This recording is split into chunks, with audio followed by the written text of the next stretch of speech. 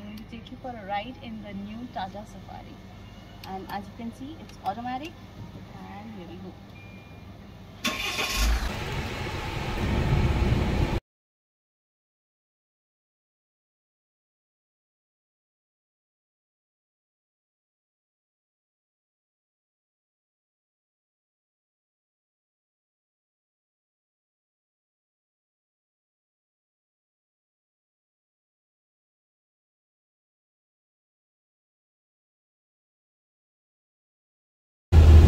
Everyone, today I'm going to take you on a ride in the brand new Tata Safari, the top end model of Tata Safari. And uh, right now I'm driving in the sports mode and the horsepower is really brilliant, it's really powerful. And now I'm going to shift to economy. The transition is very smooth. My speed is around uh, 60 but it feels like 40 inside the car because it's that smooth and uh, the interiors are good good enough. And the screen is a little laggy. The transition between the gears uh, it's an automatic vehicle. The transition is quite smooth quite easy. The maneuverability is very good. And uh, considering it's a huge it's a large uh, big car quite wide the maneuverability even in the narrow roads it's quite easy and the interiors are plush they are quite nice. And uh, there is automatic hold. If you're at the red light you can just push the automatic hold button or the parking button and then you can just release the brake. And automatically when you push the accelerator it's going to unhook from the automatic uh, hold. So these are a few features. See we have uh, sunroof and the moonroof and I only like cars with sunroof and moonroof these days.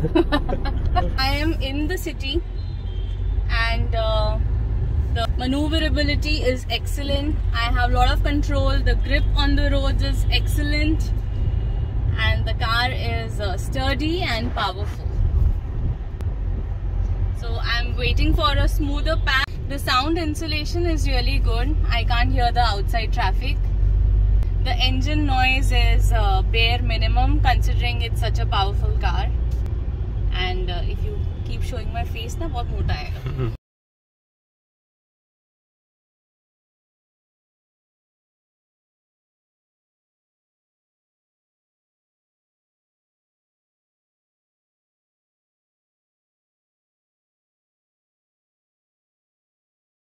So one very important thing that I want to tell you is the bonnet. You know, you, you don't. It's like very comfortable for short people or uh, people who have this perception problem and prefer a low bonnet. So bonnet is very decent for a drive, like a city drive or a long drive. It's very comfortable. So my technique of uh, not worrying about the bonnet is like simply look straight on the road and don't look below. Like women or most people are like driving like this. Don't do that. Be comfortable. Another just you and I. I never loving you.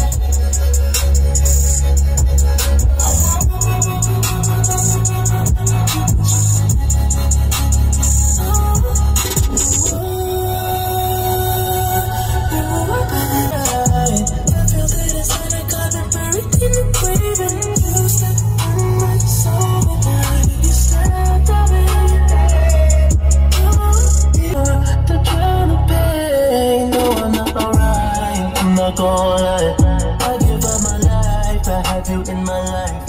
In another life, it be just you and I. I never stop loving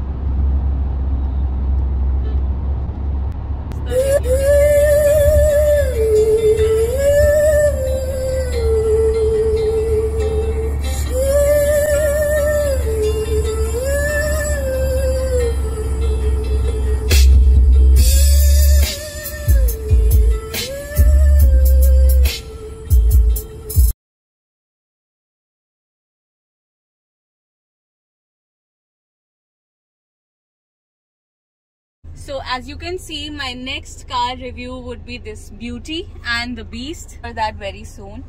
And as far as the new Tata Safari is concerned, as you have seen in my older videos of Gloucester and uh, Land Rover, I think the driving experience of the new Tata Safari is much more enhanced than the Land Rover uh, Evoque and the uh, latest ones that are there in this segment.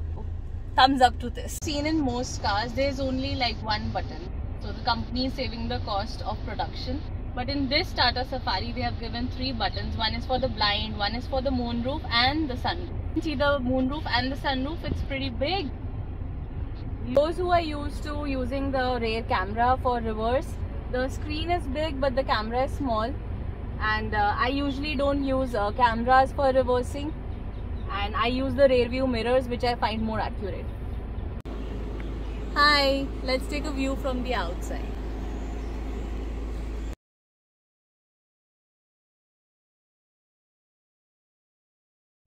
As you can see there is a knob over here. This is for the lumbar support and it's very very comfortable. As soon as you push the button back, I have now full lumbar support. So the doors open pretty wide and you can see there's a lot of leg space and my best feature is this, the seat. Now you see elevation and progression. It's going forward It's going as much as I want and it's comfortable leg space for reclining and the lumbar support I have already shown you. So this is the boot, slightly lesser space like all the 7 seaters and this side view, the leg space and the car. So right now I am in the middle section and it's quite good, quite comfortable and as you can see now I'm just too lazy to go back. Pull it and it comes like this. so, ये हमारा काफ़ी spacious space है इसमें। And just be careful when you're opening this don't your little finger should not get stuck in this otherwise it hurts badly.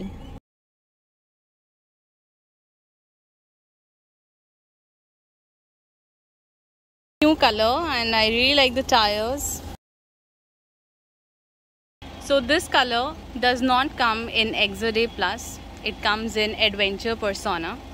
And I specially got this color. So one important feature I forgot to explain when the car is on standby it's stationary it's not moving the steering wheel is going to be very heavy so that you get the electrical assist for sensing the tire direction which side the uh, direction of the tire is and when you are driving the steering wheel is going to be very very lightweight and you will experience the hydraulic lift and it's really good the steering will get soft uh, and slow maneuverability while driving and it's going to be a lightweight steering while I'm driving.